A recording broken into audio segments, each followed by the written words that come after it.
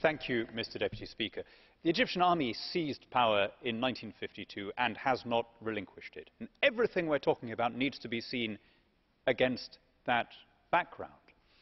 We've had in the current government a more repressive regime than we had under Mubarak. Mubarak never ordered the gunning down of unarmed demonstrators. And yet all of the repressions, whether of, uh, of journalists, of civic society, or of opposition groups in Egypt, are things that we effectively turned a blind eye to when we sanctioned the coup in the first place and refused to call it a coup. And these repressions do not become justified simply because Sisi has made a good speech in Cairo about the need for reform of Islam or simply because he's normalized relations uh, in Israel. On the contrary, if we set up as the only antonym to Islamism a basically autocratic government, then we, uh, we kill the prospects for the development of moderate conservative democracy in the Muslim world. We give people the wretched choice between generals and mullahs, which has been the curse of that region for two generations now. They, the people of Egypt deserve better. Thank you.